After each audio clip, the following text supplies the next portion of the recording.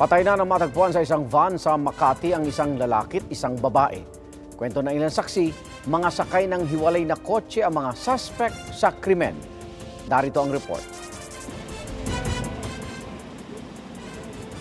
Napasugod ang mga pulis sa Makati Avenue malapit sa kanto ng Jupiter, Makati City alas 3 ng hapon kanina. Nang inspeksyonin ang kanilang sadya, ang nakaparadang puting van tumambad sa kanila. Isang lalaki at isang babae na kapwa wala ng buhay dahil sa mga tama ng bala ng baril.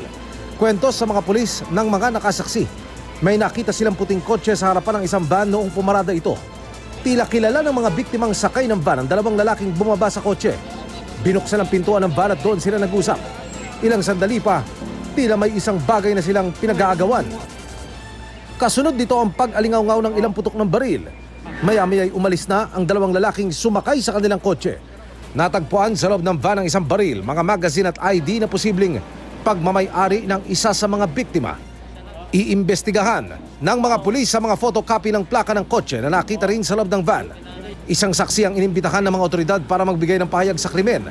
Nangangalap na rin ang mga pulis ng mga CCTV sa lugar na maaaring makatulong sa investigasyon. Emil Sumangil, GMA News.